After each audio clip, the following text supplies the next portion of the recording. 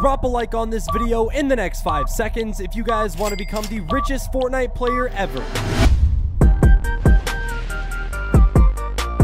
What's going on friends and welcome back to a brand new Fortnite Battle Royale video here onto the channel. In today's video we are going to be looking at a brand new opportunity that's coming into Fortnite Season 7 that's going to allow a lot of you guys out there to get 1000 V-Bucks for free in Chapter 2 Season 7. We're also going to be looking at a new starter pack that's also leaked as well that's also going to be giving you guys a 600 V-Buck bonus. We're going to be covering all the information you guys need to know on how to get these challenges, do the V-Buck challenges, and much more. So make sure to watch until the very end of the video. Now of course before we dive into that, we got to go ahead and send our daily gift to a lucky subscriber. And I want to send you guys the Season 7 Battle Pass. But the last few days, every single time I record a video, there is new skins in the shop. And as you guys can see, we finally have the brand new football icon skins with Harry Kane and Marco Reus, which look amazing. And then there's also a bundle as well. But I think I'm going to go ahead and send the Harry Kane skin as today's gift, just because his back bling looks really, really awesome. All right, and I also just realized that I don't even have enough V-Bucks to do that. So we're going to have to go ahead and buy some more V-Bucks so we can send some gifts. There we go. The V-Bucks have gone through and now we should see that V-Buck counter fly up in the top right. We have 14,000 V-Bucks, which is plenty to send today's gift, which is the brand new icon skin in the shop.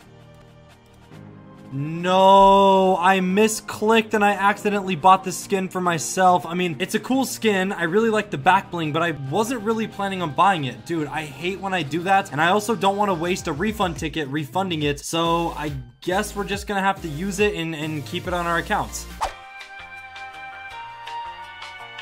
Today's gift is going to I Say Truth, so shout out to you for supporting the channel. I greatly appreciate it. And if you guys want to be like him and receive a gift in a future video, all you have to do is drop a like, make sure you are subscribed to the channel with notifications turned on, and also leave your epic usernames down below so I can add you and send you the gift. And if you guys are going to be buying the brand new icon skins in the shop or anything else that's available, including the Season 7 Battle Pass, then make sure to use supporter creator code NERP, N-E-R-P. I really appreciate all the support on this code. If you are using it, make sure to let me know down in the comments. I'll give your comment a heart, and I'm also going to be adding some of you guys back on Fortnite, so thank you so much for the support. All right, so with all that being said, let's dive right into the video. So first things first, the first pack in V-Buck challenges that we are going to be taking a look at here was something that was found in the Fortnite Battle Royale files once the Season 7 update did come out. Data miners were able to go in the files and find all of this information for us, and it's very exciting because this is our first V-Buck challenge set of Season 7, which is a very good time because for those of you guys that still need to buy the Battle Pass, or maybe you just want to buy some of the brand new skins in the shop, doing V-Buck challenges and getting a thousand V-Bucks on your account is going to be very helpful for you. Now, unlike a lot of the other V-Buck challenge packs that we've seen in the past, this one is not going to be coming out over on the Battle Royale side of things, and it's not going to be located over in the Battle Royale item shop, but instead, it's actually going to be located over in the Save the World store, because this is going to be classified as a brand new Save the World starter pack since it's been a few seasons since we've last had one introduced and released into the game for Save the World. So that being said, we're actually going to hop over to Save the World real quick. I'm going to show you guys exactly where this pack is going to be located just in case you are someone that is going to want to buy this once it's released into the game. And for those of you guys that are worried, no, you do not have to own Save the World in order to buy the starter pack. Even if you don't own it, you'll still be able to get the pack. You'll still be able to do the V-Buck challenges. And one of the cool things about the starter packs on Save the World is if you do end up buying them, they give you Save the World included in the pack. So if you don't have it, you go ahead and buy the pack. You get the V-Buck challenges, all the cosmetics, and then as a bonus, you get access to Save the World, which is why these are such a good deal in the first place. So for those of you guys that are curious, the pack will be located over here in the store. It's a little bit different than the Battle Royale side of things because the shop only includes llamas. And if you want anything starter pack related, you have to come over here to the store where the V-Bucks are. So once this brand new starter pack is released into the game, it will be located over on the right hand side and that's where you'll find it. Now, of course, with that being said, I'll throw the images up on the screen so you guys can see exactly what this starter pack looks like. And as you guys can see, it is known as the Lok-Bot starter pack. And just a typical theme here for Save the World, if you guys haven't realized yet, a lot of the starter packs and cosmetics that are released seem to be robot themed or a little bit differently themed than a lot of the starter packs we get over in Battle Royale, just because Save the World is a lot different than Battle Royale, and a lot of the skins and cosmetics end up not being actual human beings, which I think is pretty interesting. So as you guys can see, what's included in this pack is the Lok-Bot skin itself, which is a robot. We have a back bling that comes with it, of course, a harvesting tool, and then on top of that, like I mentioned earlier, you get access to Save the World, which is a really, really great deal. You You have V-Buck challenges that allow you to earn up to 1,000 V-Bucks for free, and then you also get X-Ray Llama tickets, which is only stuff that you can use in Save the World. I know a lot of you guys probably don't really care about that, but it is included in the pack as well for all you guys that do play and grind Save the World. Those can maybe be useful for you. And like you guys saw in the beginning of the video, this pack is not yet released yet, but considering it was found in the Fortnite files right when Season 7's update released, there is a good chance that this is going to be rolling out within the next week or two before we get the first big downtime update of Season 7, which means it's going to be coming in the next week, week and a half at most, and that's when it's going to be released into the Save the World store for you guys to purchase, get the V-Bucks, do the challenges, and get all the cosmetics and access to Save the World. And just in case you guys are on the fence about getting this pack, maybe you don't know if you like the skin or cosmetics included, I'm to toss up some gameplay for a little bit so you guys can see. We have early gameplay thanks to data miners of what this skin looks like in game. So if you were on the fence, watch the gameplay and then maybe that'll help you decide if you want to drop the money to get this and get the V-Buck challenges as well.